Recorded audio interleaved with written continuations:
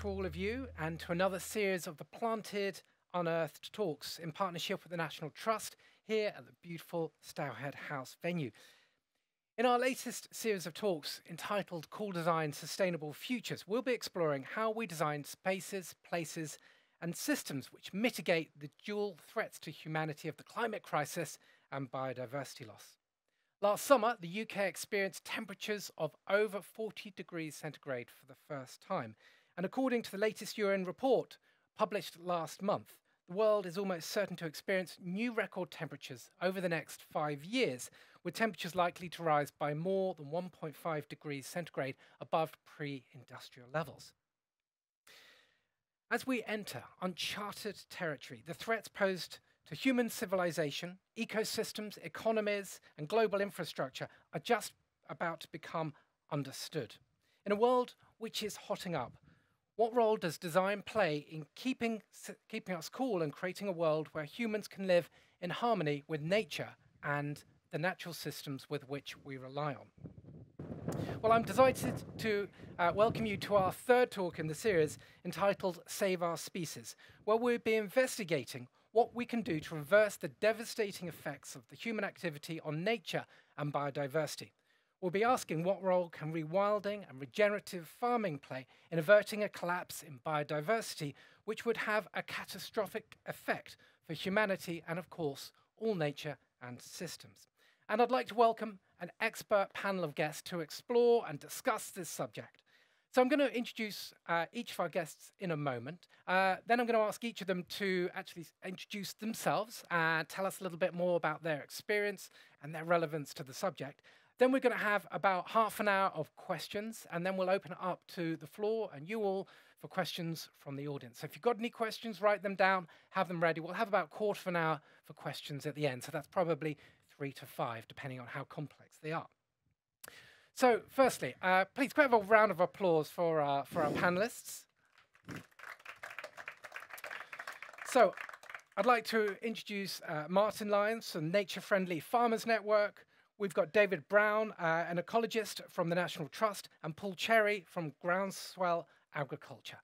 So, Martin, if I could ask you to introduce yourself, first of all, three to five minutes, tell us a little bit about yourself. Lovely, thank you very much. Um, so, I'm an arable farmer in Cambridgeshire grow mainly combinable crops of oats, beans, barley, oilseed rape.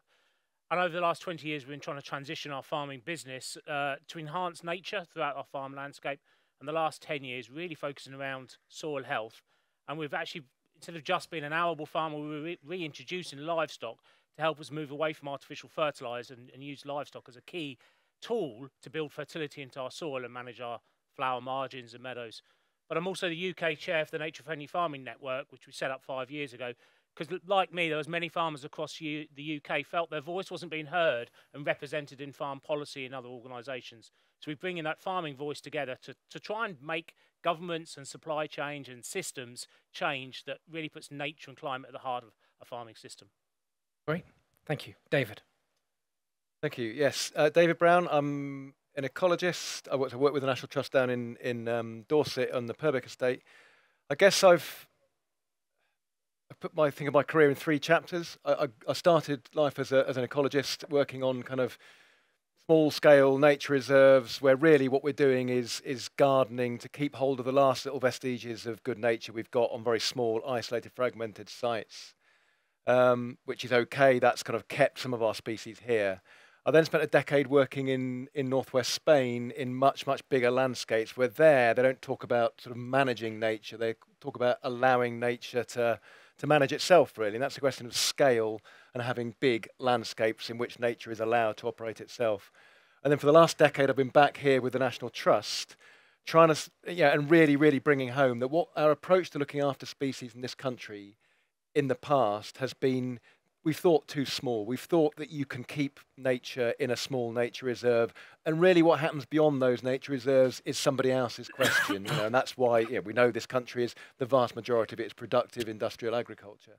And I think we've all recognised now, both from the farmer side of this and from the ecologist side of this, that, that that's not good enough. And our common agenda now is to is to look at the whole of our landscape and making it all function for nature. So the work I'm involved in down in Purbeck, I guess there's two sort of areas. One is on a on the we, have set up the Purbeck Heaths National Nature Reserve. It's the first super national nature reserve in the country, which is linking together seven different landowners across three and a half thousand hectares with an absolutely clear vision about restoring it for, for functional nature. We don't tend to talk about rewilding so much just because that means different things to different people, but it's all about restoring natural processes and a really, you know, nature-rich landscape. And that's, yeah, that, and we're doing it. That's going really well.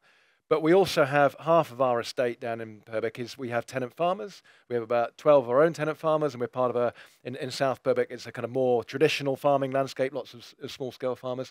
And we're working, you know, hand in hand with our tenants and other farmers to try and see how you can deliver nature recovery at scale, link up landscapes, but maintain, you know, working businesses, um, farming and more diversified land management. Sounds like a delicate balance. It, it's a very delicate balance. Okay, we'll get into that in a minute. Uh, and Paul. Yes, uh, Paul Cherry. I farm up in Hertfordshire, um, about a thousand hectare farm, farm family farm. Um, we're combinable crops and a beef suckler herd, but also there's a lot of other things going on on the farm. So it probably gives us the opportunity to experiment a bit more with our regenerative approach on farming, which we've been uh, gone headlong into in the last sort of 11 years. Um, and uh, we'll hopefully explore that a bit later. But I also, um, I'm one of the host farmers for the Groundswell. We now call it a festival because it's such fun. Um, it's a um, it's a sort of home of regenerative farming, if you like.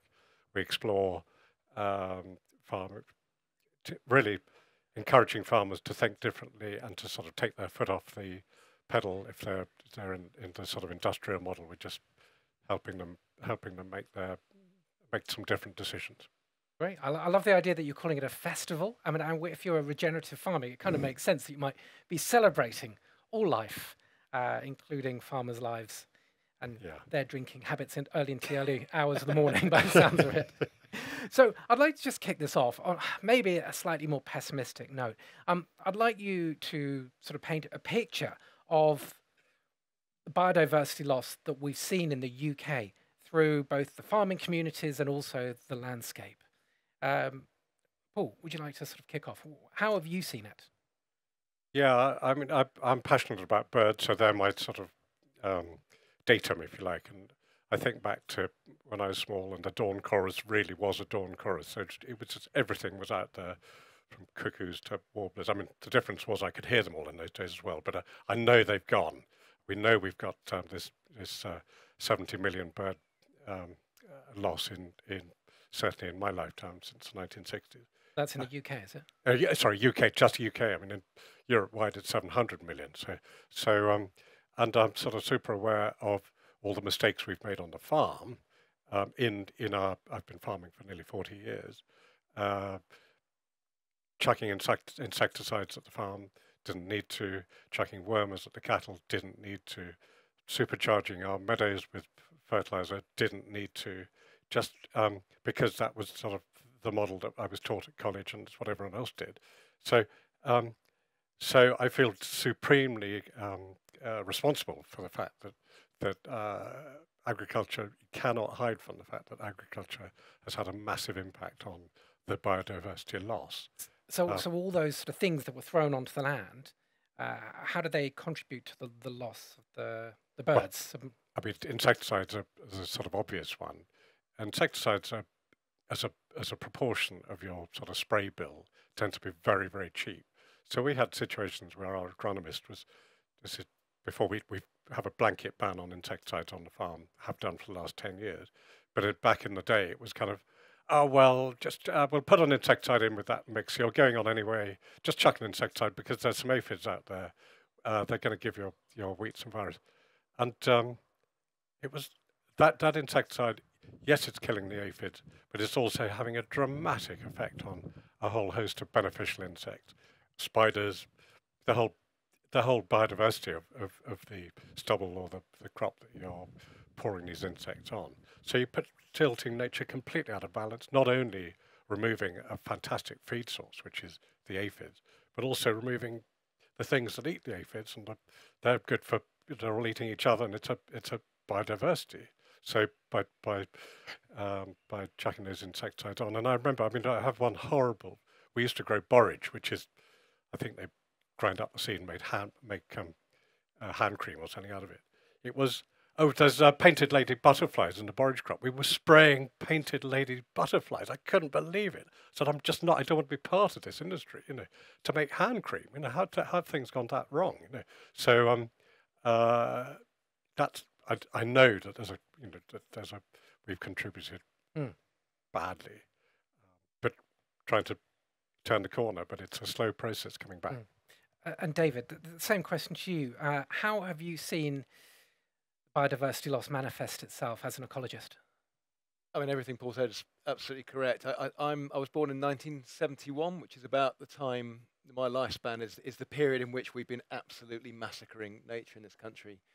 Um, and I remember in the sort of late 70s going on family holidays, and the car windscreen would be full of dead insects. You know, you'd have to stop and clean your windscreen because of that. That doesn't happen anymore. And I think that's, you know, the, the biggest for me indicator of just quite where we are is the recent stats. And there's various studies coming out with similar data 70%, 75% loss in insect, not just diversity, but insect biomass in the last 40, 50 years. And that, is, that isn't a warning that oh, we need to do something because if we need to be careful because otherwise there's going to be an eco ecological collapse coming. That's a sign that we are in an ecological collapse now. So we cannot cope with that levels of loss of biodiversity. That's not just all the diversity of insects losing, it's all the things they support, all the warblers, all the bird life that, that sits above them and everything else. And it's, you know, I think I, you cannot overstate that we're not, this is not a future crisis, this is a crisis we're in now.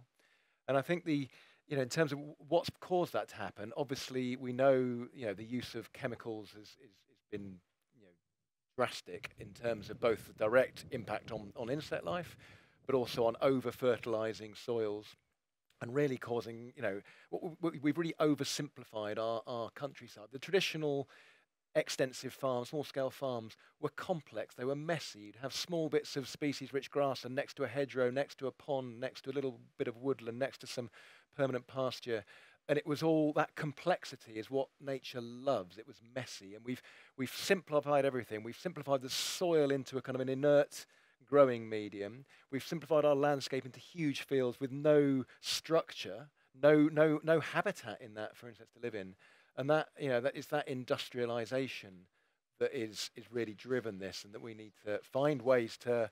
And, and just to, to reiterate, this I'm not a farmer farmers are as much a victim in this as the cause of it. You know, if you're a farmer now, that's what you have to do to be economic, or that's what we've got to try and find a way to, to turn around and show that you can you can do something else and still, you know, have a business. Hmm. Uh, and Martin, uh, uh, David touched on that idea of an industrialized agricultural system being responsible for this. How do your farmers feel about that? Because obviously they, they have become reliant on that. That's the way they farm for generations, not too many really, but you know within living memory. How do your farmers feel about that? Do they feel that they are responsible, as as kind of Paul said, for that? Do they realise that their impact of their you know relatively small plots are having a, a bigger effect? Can they see that? So uh, the, the membership of the organisation is wide. So from fully organic to people taking the first steps of realising the damage and harm they've done. They've recognised that a lot of it's been driven by government policy and supply chains encouraging food not to have a speck of damage on it. So you've got to put those insecticides on because the consumer doesn't want that. And many of the farmers are actually realising the landscape's gone quiet. There's no biodiversity left. There's very little worm life left in soils. And they're trying to do what they can and trying to do their, what they can within the framework they're allowed to do because government policy measures within 10 centimetres. you know, it's being encouraged to move nature off the farm, farm everything as intensely as possible.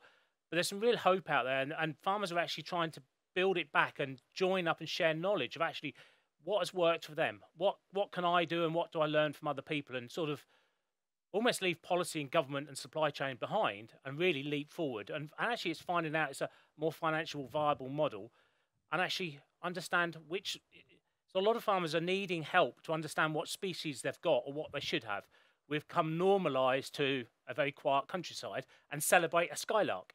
Well, when you should have dozens of skylarks. So when you hear farmers celebrate something, but you've got to normalise that, that that's a depleted landscape.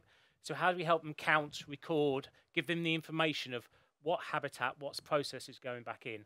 And we're seeing lots of farmers really get encouraged by uh, seeing hope and seeing things come back and seeing that life cycle of diversity and food production join hand in hand.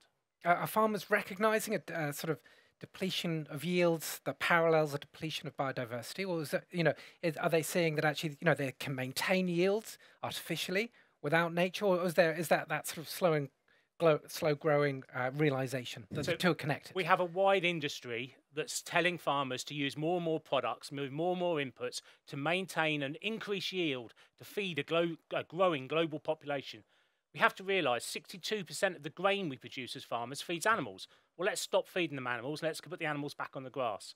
20, only 20% of our productive soils is used to grow food that we feed ourselves with, and we throw 44% of that away.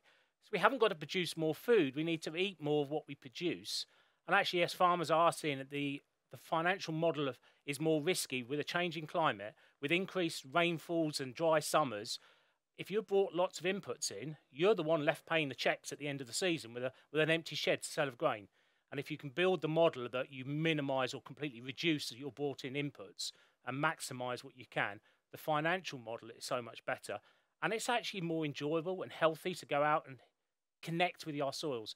So if my grandparents followed a horse and cart, yeah, horse and plough, so they smelt and touched nature all the time.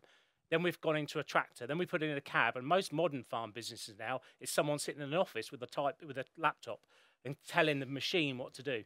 We need to go back and dig a dig a hole, count some worms. Go and listen and count. You know, on our farm, I'll put benches up across the farm because I'll go for walking in in the mornings and evenings and sit and listen, and just take it in because that fills your heart. Because farming must feed our stomachs. We must produce food because we want to eat, but it must feed our hearts and our minds as well. And it's that whole system approach that I get real heart, you know, strength of joy from seeing farmers see that reality of what can be done.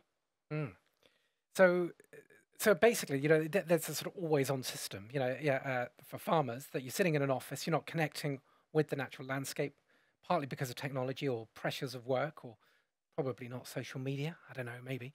Uh, but but you're sitting in your office and, and not connecting. So so doing a simple thing like just stop and sitting and enjoying the landscape as you probably imagined you always would, uh, it's an important thing for farmers. Yeah, and it's yeah. realizing the life cycle of stuff. You want to see a creepy. So on our farm, I want to see aphids. I want to see slugs because then I've got something that's going to eat that, and it's building that life cycle up. So we we mustn't just look for pests. We must look for beneficiaries uh, that will eat those pests. And it's you've got to stop. They're little. We haven't noticed them missing in our landscape because they're so small. So sit, take notice. Yeah. Get on your hands and knees, count some worms. Yeah. Uh, Paul, when we spoke, you mentioned a term that I thought was interesting uh, and sort of starting point for the, the, next part of the conversation, which was you mentioned that we have an extractive farming system. Can you explain what that is, just quite briefly? Yeah, it's sort of taking more than than, than we should from from the land, um, and uh, the regenerative model is much more about working with the land, as Martin says, understanding your soils rather better, stopping that sort of chasing yields model, looking looking at the farm as part of our you know part of the family, employing people, employed looking after the family. So not taking too much out of the land, but, but just taking what it's what it's capable to produce. It's basically a more extensive um, system more livestock, uh, no, no, longer big yields, but cutting all the time, cutting costs. And the government is helping us with with um, with uh, cut, um, with environmental stewardship grants, um, the um, Sustainable Farm Initiative, uh, lots of ways of, of helping farmers actually make that make make the change. And um, certainly from our perspective, and we see a lot of farmers at Groundswell, we're seeing a lot of the new generation of farmers are slightly saying, I'm not really prepared to be part of this industrial model. I know the facts now about the biodiversity loss or about the, the, the food crisis, the obesity crisis, diabetes, all these things that are wrong with the, the system. They want the, the, the new generation coming in and sort of saying, yeah, you know, we want to learn how to do it completely differently. Very exciting. So it's an extractive system. is kind of a linear model. You just you just kind of like take stuff, you kind of sprinkle stuff on to make it grow, and you take it and take Absolutely. it and take it. So it's it's just going to be degenerative to the Yeah. soil. So are there sort of shocking numbers as to how you know how many harvests might we have left if we keep farming in that kind of s- linear way? Yeah, I keep. we know we hear we hear sort of sixty harvests left, and I'm sure that's the case on some some land. I mean, a lot of the um, regenerative practices that we adhere to, we've learned really learned from from uh, they come over from America, where obviously they have the most extreme weather out in the Great Plains, watching their soils and two inches of their soil disappear down the Mississippi out into the Gulf of Mexico. You never get that soil back. They can see that happening. Um, they've learned that there's no point trying to be clever about um, uh, stopping that soil from either washing away or blowing into the Atlantic, one or the other. You've just got to always have roots in the soil. You've got to be feeding um, feeding that soil with having living plants in it. But principally, you've got to just hold on to that soil by treating it naturally. This soil is what we're sitting on is full of living roots and legumes and look at it that's going nowhere that could take 12 inches of rain nothing would move it if it was ploughed you had two inches of rain it would be on the move ploughed soil loses its integrity and um, it can't it, it can't hold on to itself whereas um, and, and soil is never meant to be disturbed in nature there's no such thing as a disturbed it's a catastrophe if it's disturbed in nature so um, we're trying to just recreate that model And David, um, how might wh- what are the sort of key ingredients of a regenerative um, uh, landscape approach?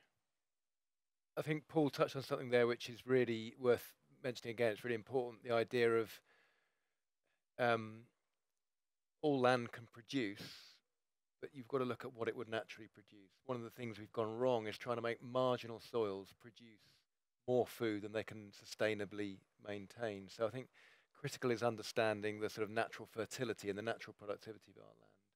And as a rule of thumb, only extract what the land can sustainably maintain. You know, so we, we've gone wrong, I think, in this country in the in sort of middle of the last century when we decided everywhere was agricultural land and everywhere should be grown, you know, managed through the through the prism of, of maximum productivity. And of course, we need to grow food. Uh, and it always frustrates me the idea of the food security debate being in conflict with nature conservation because it isn't and it doesn't need to be. Of course, we need to grow food, and this country's got areas of deep, fertile soils where we need to be growing lots of food.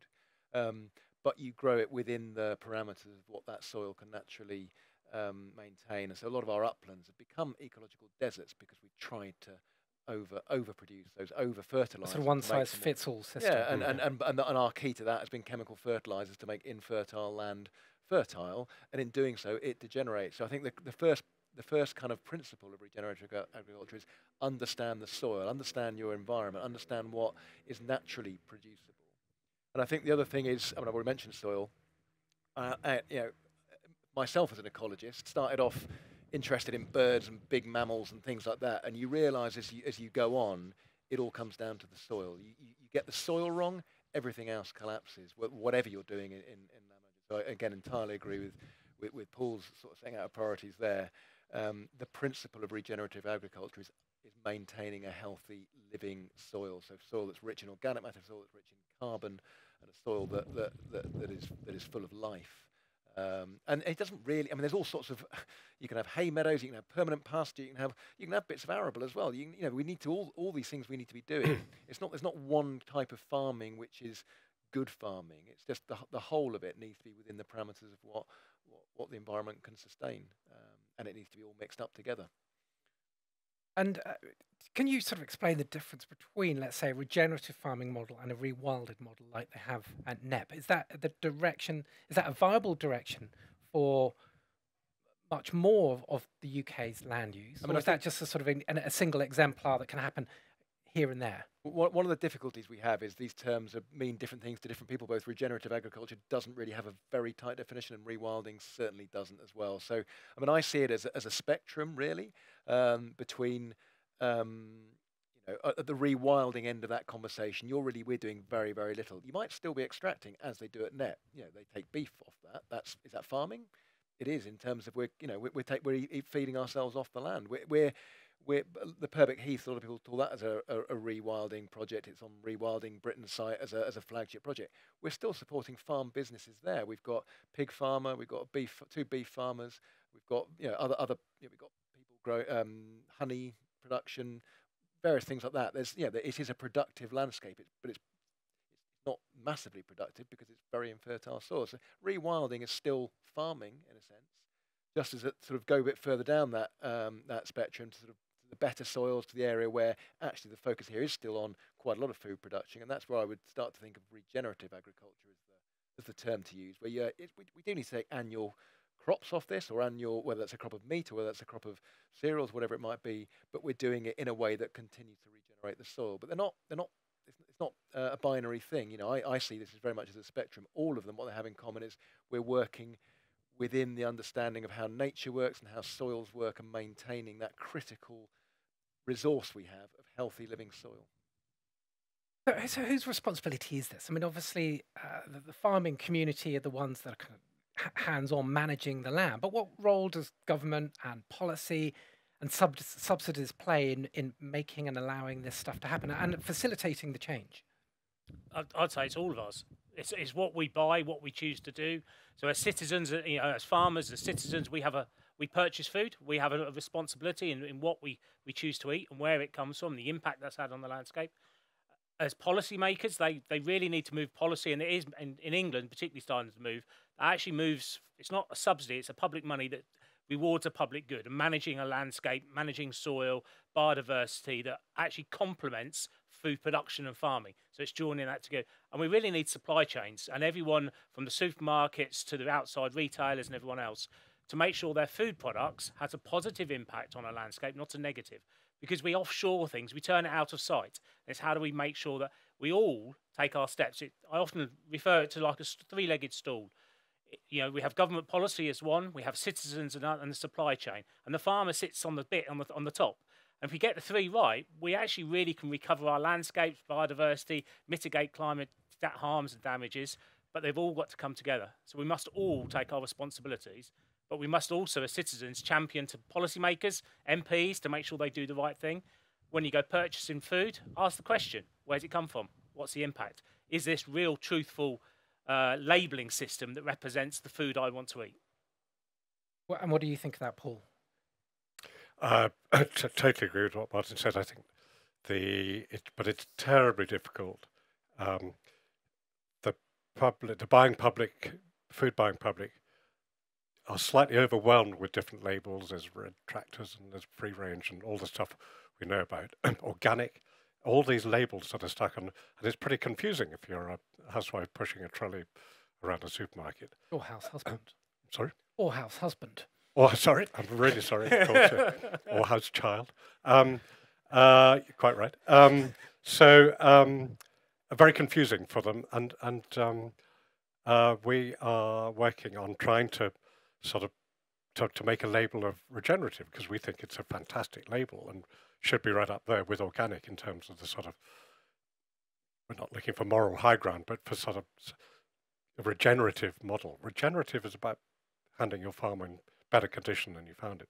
So, so, but it's really difficult. It means people coming around with clipboard saying, "Well, you've got a direct drill, you've done this, you've done that, you haven't done that." Um, farmers are going to really run, run, run uh, shy of that. But, um, but I totally agree with Martin to sort of guys like you, I'm sure you all buy very carefully. You're buying from farm shops, you're buying, but it doesn't stop you always asking the question: Is this beef pasture fed? Are the chickens?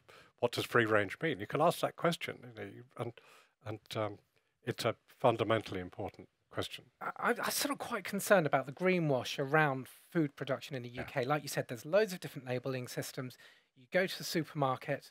Uh, and you've got the name of a farm looks suspiciously like a sort of made up name. And then you go like well do i really trust this meat this that whatever? There's three different grades of it. Uh, i mean personally i've had a you know such a mistrust of the meat industry that i got do you know what? I, i'm going to go just kind of plant-based because it's sort of at least i know that it's going to you know i'm just going to cut one aspect out that i really don't trust. Um, is that is that you know realistic thing? Should we be eating meat? Should we be going plant based? Uh, how does a consumer navigate their way through doing the right thing? Is it is it just going to farm shops and supporting uh, a retail system where you can ask somebody for a direct question. Because if you walk around a supermarket, the, the people stacking the shelves are not responsible. They're on a minimum wage, so it's very difficult to get to the bottom of that. How does a consumer navigate that and the greenwash and all the labeling systems and all the stuff that goes on? With great difficulty, um, and um, possibly having to be prepared to pay a bit more for their food. Um, I'm sure you all do anyway, but um, um, food as a proportion of the average weekly spend for the average family is right down at the bottom of sort of it's in the low teens of your of, as a proportion of the of the weekly spend. That is a shockingly low amount. Probably go back to 1945, it would have been closer to 50% of your your weekly spend.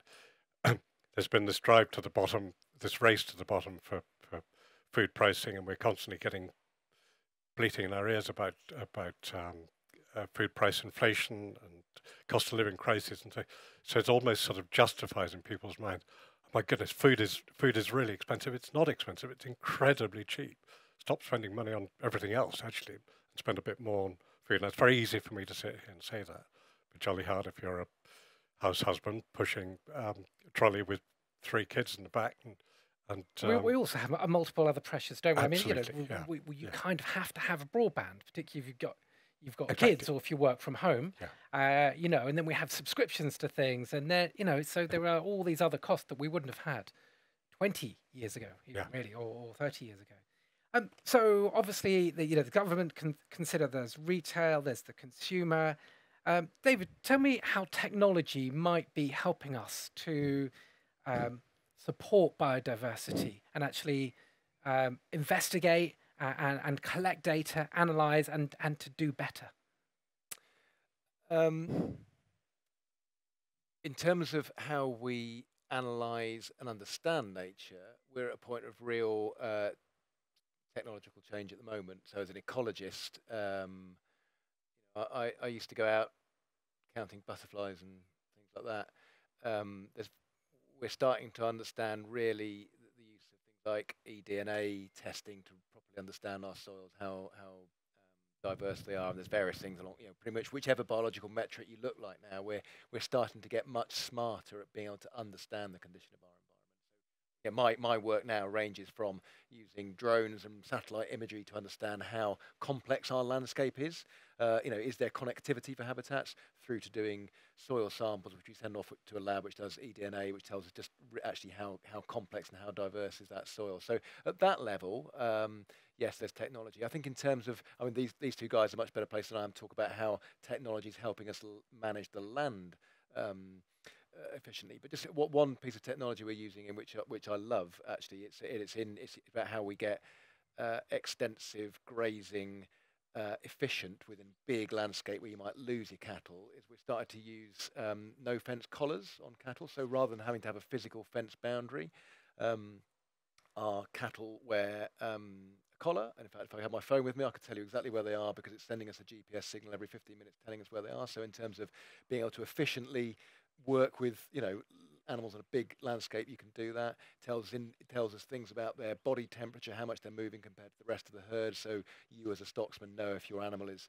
is is kind of healthy or not, if it's about to go into labour or not, all that all that sort of stuff. Which is you, know, you suddenly realise you can work with wild systems but still be responsible for everything from animal welfare to, to, to, being efficient use of your time, you know, that sort of stuff. So there is, and the other thing about the no fencing, rather than having a fence, you have it, it has a sort of a virtual, uh, a virtual electric fence. If it goes near to the boundary of the polygon you set it, it hears an audible signal. If it ignores that audible signal and goes a bit mm. further, it gets an electric pulse. So we're grazing areas of the landscape now, which really ecologically benefit from having grazing animals without putting without putting fences in, just because a, a, smart app which, which does it. So there's technology all around us, and that's that's part of um, you know efficient efficiency in land management. I think, and it's still you know we need to be efficient use of our of our time to work within nature. I'm sure these two can tell me yeah. much more about actual technologies on a day-to-day farm management basis. I, I, like that system. I might note that one down for my teenage yeah, children. No, yeah. Just a, it's only a mild electric shock.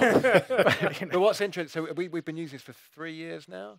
Uh, this year, our cattle have had no shocks. They learned, or Really? they've learned weeks training to respond to the audible signal. So they, they get near the edge of the boundary we set up, and that boundary moves. 'cause We move them around the landscape. Hmm. Um, they get near it, hear a hear a hear a little beep, or quite a loud beep actually, and then they just turn around and walk back. And um, and it's a way of you know mimicking what nature would do. Herds move around the landscape uh, without having to you know spend all the you know it's, it's a very low cost input system. That's Yeah. what we're talking about. We're we're accepting we'll have lower yields.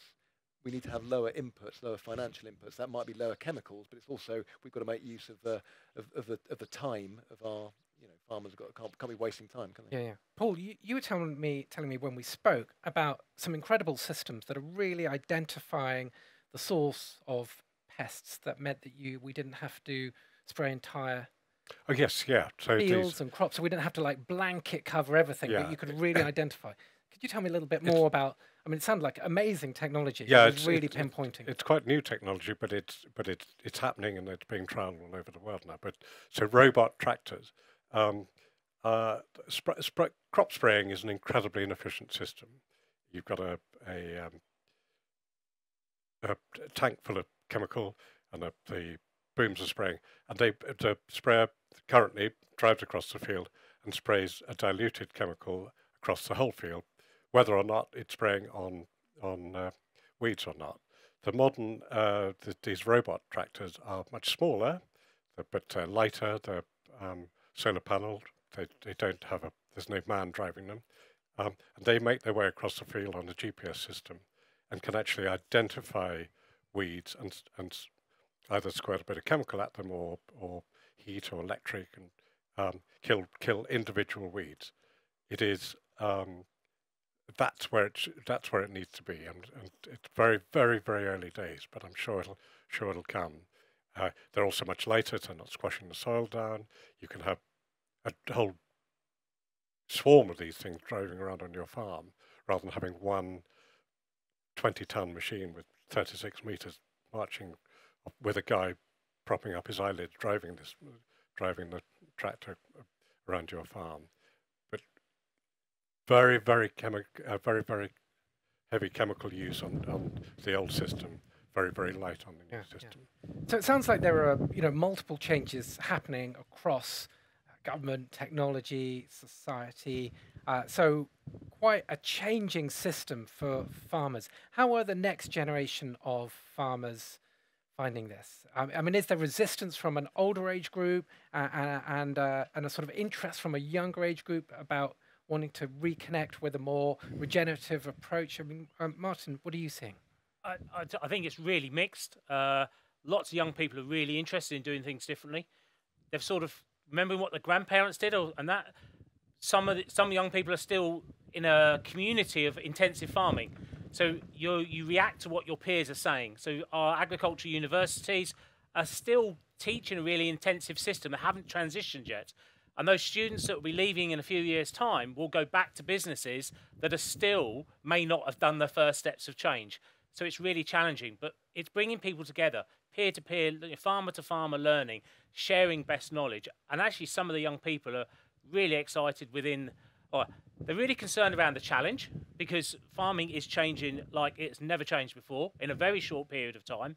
The way uh, payment supports, market, weather, input prices, market prices. But they're actually looking at a more diverse landscape, more stacking enterprises, other income streams, and really getting focused around running really efficient businesses that actually help recover nature, be really regenerative, adding different aspects to businesses. So you might have some honeybees, you might bring some livestock on to graze the man- la- landscape instead of having an arable, and doing different things. And that's where I think the energy really comes from within those. But there are also some older generations that are suddenly saying, actually, I did this 60 years ago. Yeah. Um, we're just got to go back a bit and, and just wind the, the inputs off and back to that kind of system and balance their farming landscape that actually enhances uh, and gets the right output that um, off the land. Because the way we farm, we- should be taking off the surplus, not excess, and it's back to that kind of model. Um, and I think that's the blend of. It's not about just the a generation. It's got to be spread right across the generations. Okay. Uh, so I've got a couple more questions before we have questions from the audience. So so note them down. Uh, just sort of starting to wrap up. What what do you think the future of land management might look like? Are we going to convince sort of wider groups to participate in regenerative approaches? Me? Yeah. Um, yeah, actually, despite all the doom and gloom, I think this is a time of real optimism and hope. There, there is, as Martin said, there's, there's, change going on like never before in farming, and there is a generational change. I think we we know I know many farmers who've all their working career, the last 40, 50 years, has been production, production, production. But the generation coming behind them recognises that that is not a viable future. The whole, you know, the leaving the common agricultural policy, the fundamental change in what we subsidise farmers to do means that in most marginal areas, the existing farming businesses they won't survive. They, they and, and, and, and farmers are not stupid. They know that, and there's a real rec- well, some of them bring it on, some of them reluctant, but everybody recognises there's a need to change just to survive, and that is a real opportunity. And and we're you know in t- I'm not sure how, how much people will be aware of what's going on in terms of the new subsidy systems that replace the old co- common agricultural policy, but the principle of only subsidising with public money for public goods is, if it's properly funded, a fantastic opportunity to actually incentivise farmers to manage land in a way that's regenerative and is going to make nature thrive again. And and I know many young farmers who are really quite excited about that. There's a lot of risk. Time, you know, for if, you, if you're this is your, you know, farmers don't make a lot of money. If, it, if you're on the breadline anyway, any kind of change is a risk, and risk is scary. And we, I think, as a wider, certainly as a, from the National Trust as a landlord, we need to support our farmers through that transition. But actually, everybody does as well. And I think it comes back to one of the questions you asked earlier about what do consumers do. The most fundamental thing consumers do is take an interest, is understand, is think about where your food comes from and take an interest in the countryside. You know, we we we've never been, as a society, never been more divorced from nature. You know, most most people just virtually never have any direct contact with, with, with nature now growing up. And that is, we need to unpick it to that level so that people connect and care and actually recognise that, that it does matter what happens in the countryside, how farmers manage their land. And if, as a society, we need to embrace that and, and support that. And, it, and you know, and if we can do that, then I think there is optimism uh, for change. And I know there's plenty of the future farming generation who will be you know, very capable of embracing regenerative agriculture and doing it well. But it has to be a whole society thing. It seems as if the pandemic gave us a little bit of an insight on on the fragility of the sort of supply chain system of the food that we would expect to be on our sh- shelves. Uh, uh, quite recently, you know, thinking about the kind of lack of tomatoes when they were kind of piling up in France and there were none here. Like, what's going on? You know, there is. It sort of just pulls back the curtain a little bit, a little bit about kind of what's going on and what we're just kind of blindly walking into. Um, uh, uh, Paul, you know, is there anything you can just sort of say to the audience if you go away and you read, you look at one thing, uh, what, what would you recommend they do? Yeah, well, we've got a um, general election coming up, think very carefully about who you vote for. That's always that's a that's a nice one. when you're shopping, think very carefully about how you shop and and and um, and and ask those questions. Um, and um, there was a third one. I've now totally. With, with, with the, political system, without naming the group, are, are there some uh, political parties that are supporting farmers better? Have they got better policies? Than others, or, or are they all sort of sort of saying they're going to do great things? And yeah, I mean we all get a bit cynical, don't yeah. we? But um, uh, since getting since getting out of Europe, um, we've had this op- we have had this opportunity to break away from the European subsidy, which was sort of just land based. As Martin said, the, the, government has been very supportive of of um, listening to what the public wants, and the public um, is very interested in in the landscape in any shape or form. You can barely turn on the telly without seeing Countryfile or Farming Life or Jeremy Clarkson or Spring Watch. Um, so we're getting, you know, the, the, public is becoming, I think, more aware of of, of, of the landscape, if you like, or the environment. Um, so I think they are. I think sorry, government. Our current government has been has been very supportive of um, stewardship schemes in various in various shapes and sizes. Um, Republican have a change of government. I don't know. You know, I'm not getting get into politics, but but um, uh, I, I'm I'm impressed that the the shift has been towards something that that is is looking after the environment a little bit better, a lot better than we were even ten years ago. Hmm. Um, oh, sorry, uh, do you have any suggestions? Anything that uh, our audience can go and investigate a little bit more? Um, take an interest, find out about it, understand where your food comes from, and go out into the countryside and connect with nature and understand. You know, just just enjoy it. That I think Martin said early on. It's you know, it, if this is just a theoretical thing, we'll never we'll never get anywhere. You only get so far with your head. This needs to be something that people really, really care passionately about it, and it needs to every decision we make, from who we vote for, you know, possibly the most important of all, um, down to everything we buy, understand the impact of that. Uh, we are, I say, we're not, as I said at the beginning, we're not facing an environmental crisis. We're absolutely in the middle of one now, and and, and we all need to to recognise that and, and and wake up to it. Martin, any any suggestions for our audience? First, I want to go back just a tiny bit. We need a wilder landscape, not just rewilding over there and intensive there. Every bit of landscape, including our gardens and everything else, needs to have nature in it. So, we, so then the next thing would be is go and find out the farmers that are doing those things. Go and talk to farmers. Go and find them on social media. Engage and actually almost congratulate, engage with them positively that you welcome that change and that delivery, and then understand where your food comes from. Because then we all have choices, and then it's those are through your supply chain, your politicians, whatever. Ask the question if you go eat somewhere, where's the food come from? What kind of impact have? So it's, it's about taking ownership because we all have ownership of the problems we have, and we, some of us can take little steps. We can do a little thing, and we can take one cha- change. But if everyone did one change, that'd make a massive difference. And those that can do a bigger step and get moving, and we will see a momentum happen because we cannot sustain what we're losing at the moment.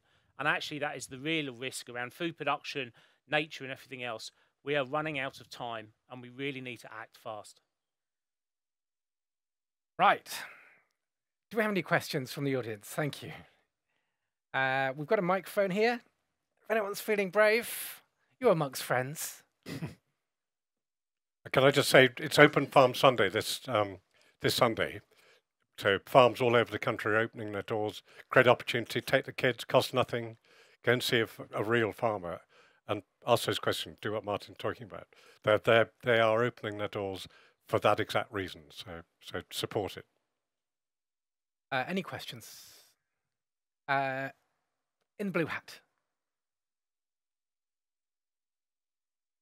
Thank you very much for what you've been saying. Should we slow down the use of the expression gross domestic product, GDP, and increase the use of the expression global resource management. Wow. am I going to pick for this one? I thought that was, uh, yes, this is the second difficult question from you. A good question. Martin, how do you feel about that? Yes, we need to take account of cost yeah. globally. We're going to have to trade. We're going to have impacts of weather and have excess we can share and then also bring in. So we need to have that more balanced approach around how do we trade in a way that has a positive impact um, and sort of minimize what we take from landscapes and express it in a different economic model. Uh, to recognize, I mean, it sort of comes down to that idea of donut economics. You know, so GDP doesn't recognize the impact that we have on the environment, it just looks at gross domestic product. So uh, the idea of donut economics sort of puts that back into the system. And uh, that's a good one to investigate there are people who've written about it very well, uh, and I haven't really. Yeah. Just quickly touch. Most of our food does not take in a, into account, and more, everything else we buy, the impact for climate or nature. So wouldn't it be great to have a taxation system that that, that harms most, you pay most for, because we'd all shift. Yeah. Um, and it just balances that the economics of it back to a sensible place. We'll be paying the true price That's of the right. food as opposed to just what we've managed to create it for using uh, industrial agricultural systems, artificial systems. Oh, just add on to that, I think yeah. uh, my short one-word answer would also be yes, we do, and I think there's two strands to that. One is getting away from gauging success based on growth, because we know that is clearly fundamentally unsustainable. So resource management rather than product is, is the term we should be thinking about. But the other strand of that is global rather than domestic. We can't outsource our our problems to somewhere else. You know, this has to be a globally sustainable system. It's one planet, so it's it's very easy to come up with sustainable systems that actually just you know by buying stuff from elsewhere. Uh, we have to think of this globally, and that's that's great idea. Very difficult to start. You know, the whole planet thinking in that mentality. But but yes, we do. Uh, another question, uh, gentleman at the back in the white hat. Is that a gentleman? Yeah. Do the panel feel it would be feasible to label our foodstuff supply chain by embodied carbon between planting and the shop floor? Hmm. Very difficult, I'm afraid. Very difficult. Currently, I think almost impossible. But but um, because there are so many, I don't know if you guys agree, but I, I just think there's there's so many different parameters. But it's a wonderful thing to aim for, and I shouldn't I shouldn't be so too dismissive of it. But I think um, it uh, sounds like a terrifyingly and, and, probably quite an easy thing to fudge as well. I suspect. Um, we have this situation at the moment where where everyone's very interested in carbon in soils. There is no datum. There's no um, standard model for reading carbon in that soil compared to that bit of soil there. It's it's absolutely extraordinary. You'd have thought it'd be fun. Really, it's such a fundamentally important question that you thought somebody had, would have devised a sort of gold standard way of reading it. There is no gold standard at the at the moment, and that goes for America as well as us. You know, there's a lot of there's a lot of chat out there, not a, not a lot of, of true realities. So um, I'd be nervous about making aims that, that are very hard to achieve. If the sole focus is minimizing carbon, how do we measure the impact of biodiversity loss? I mean, it, it doesn't seem like a broad enough spectrum or investigation to capture the, the, the, while, the wider picture of a regenerative farming system. But that's my, my concern. And I, I feel it in the building industry as well that we're so focused on carbon, the embedded carbon, the in use carbon, that we're not reflecting on the quality of the environment, the qualitative aspects, the our relationship to it. You know, we can have a low carbon building, but essentially, if it's a well insulated box that has no windows, it's just super efficient. Who's going to want to go and work there? So, if if all we do is measure through carbon, then we we kind of miss out a whole raft of other essential aspects. I think. Yeah. Uh, certainly in the building industry, and I would imagine it's sort of similar. Totally, totally. So there is there is legislation coming that all the major brands are going to have to report their carbon footprint of their supply chain. So their scope three, that, that's embedded in moving products about. And so that's going to make things change. And they're all, many of the leading brands are already asking, how do we measure what we're going to do? And also in a few more years, it's going to be about biodiversity. So it's coming, but we haven't got any baseline, we haven't got any matrix, and it's not a global system.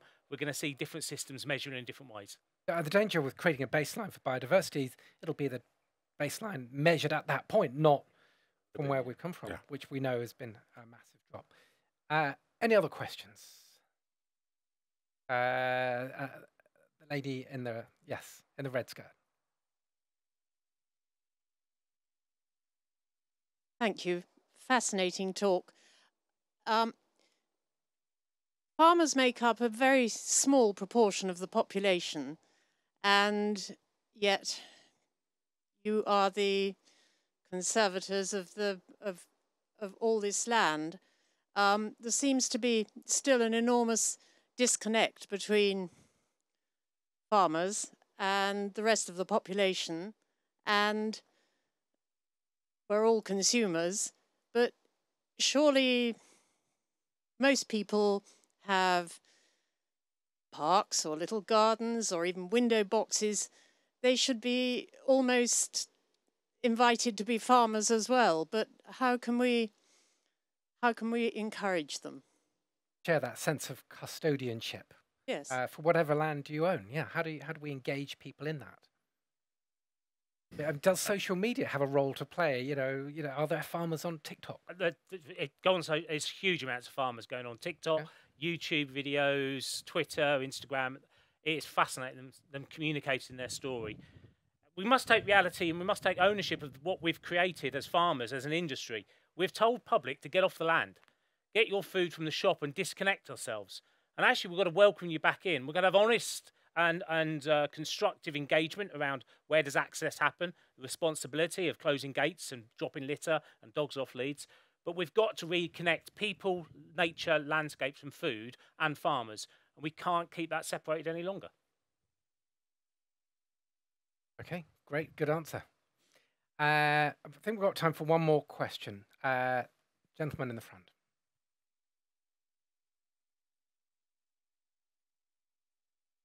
Uh, you, you on the panel all farm or managed land on quite a large scale, uh, which presumably has sort of economies of scale attached to it. How do you think regenerative agriculture can work on much smaller, say, 250 acre family farms? I think I think if you're prepared to um, uh, engage with the public, uh, add value, stack enterprises, uh, there are plenty of people doing exactly that on pretty marginal land. But um, I know that we've had a speaker at Groundswell, who, a butcher, who, who's turned. Uh, if you imagine a, a, the the wholesale value of a, of a if you sell a fat steer to an abattoir, think of it as being sort of fifteen hundred pounds as a sort of wholesale price. He can turn that fifteen hundred pounds into seven or eight grand. It, that's not West London prices. That is making use of everything down to making stock from the bones. That's the thing. You know, if you're prepared to really, really knuckle down and and um, uh, and do that sort of thing, and then have chickens following the cattle, you know, there there are there are ways and means, but it's but it's a but it's a different mindset to the sort of agriculture that we're probably used to, which is broad acre, uh, you know, um, lowering fixed cost per, per acre, all that sort of stuff. But it, yeah. I think we're coming. So a lot of our tenants are that sort of scale, although National Trust is a big landowner, we're working with businesses who are small, small scale farmers, and um, I think the idea that you can extensify um, and still make a, a, you know a living off a small amount of land just from food production is probably a myth. You can't. You know, you need to have if it's if we talk about lower input, lower output systems, yes, they're, they're, they're more efficient, but you probably do need to diversify as well. And we, I think there's a transition probably for a lot of our farmers, particularly in the, in the more marginal soils, stop thinking themselves purely as food producers and think of themselves as land managers. And they're producing various products which benefit lots of people. So food is one of those products. Um, clean water, carbon-rich soils, another product. Public access is another product. Nature is another product. Uh, and all of those things are actually monetizable one way or another, whether it's through kind of new, the whole, we haven't even touched on the whole new world of, of green finance and, and, and of investment in, in, in people who will sequester carbon for you or clean water for you. Um, and, you know, through, and farmers, even small scale farmers are stacking their finance models up. You've got food production, you've got subsidies, you've got carbon, you've got clean water, you've got public access and what you might license, how you might monetize that you know, all these things are what's making a, a viable business model. And actually, it is it is vi- even on marginal soils, it's viable on small farms, but not if you think my only product is food. Uh, and equally, I guess, uh, to a certain extent, um, commercialization and education. You know, Knepp farms do safari trips yeah, now. Absolutely, yeah. Mm. And uh, you know, you were talking when we were talking earlier uh, about the the numbers of tourists coming to. I, will give that example. Your corner of the so we on, on one of the on the on the Purbeck Heaths again, um, very marginal farm uh, farmland. There was a you may have seen about it on Springwatch recently. The ospreys um, that are that breeding in Poole Harbour for the first time in 200 years. That was an introduction on not on on RSPB land, the National Trust land, but on a private estate there, um, and because they're interested in nature recovery now they didn't do it as an economic thing. But that first year they were there, they put on three boat tours for the public, thinking maybe people would be coming becoming interested in seeing ospreys in the landscape. They all filled up instantly. The next year they put on 30 boats. This is with hundreds of people on paying 30 quid a time. This year there's 60 boats. People are desperate for nature experiences in this country. And and ecotourism is easy to think, oh, that's the solution for all. You need to manage it well, and not everything works, but actually managed well. And this is where farmers working together at a landscape scale, and there's lots of that going on now, the idea of farm clusters, landscape recovery partnerships, actually a vision for nature you know, that is an economic gold mine potentially if you do it well and you can, you know, learn to monetize that. So, Yeah. uh, uh, and yeah, So this time next year, dung beetle safaris at Planted Country. Absolutely. I see Sam's ears picking up there. okay, sounds good.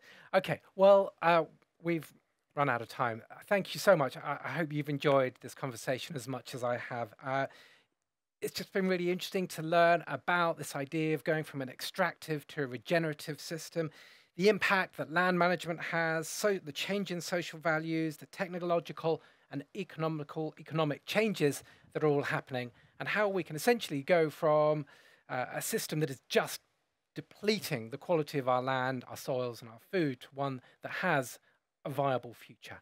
So, uh, thank you, firstly, to our three panelists. Could we have a, a round of applause for Martin, David, and Paul? I'd also thank you very much. Uh, I'd also very much like to thank the National Trust and Stourhead House for hosting us. Uh, if you enjoyed this talk, please do go to our website, which is uh, planted-community.co.uk. There's loads of talks that we've previously done on there. There's interviews, there's information about our partners, uh, and, and uh, lots of environmental conversations. So please do take a look at that. In the meantime, uh, please do go and enjoy the rest of Planted Country. There are lots of suppliers, there's events, uh, uh, there's well-being events. Uh, all the people that are here have an enormous amount of knowledge and expertise, great conversations and history around sustainable products. Please do go and have a chat with them. And, and thank you all for coming and sitting in the sun. I know it's, it's very hot. um, my name's Oliver Heath, and this has been Save Our Species. Thank you very much.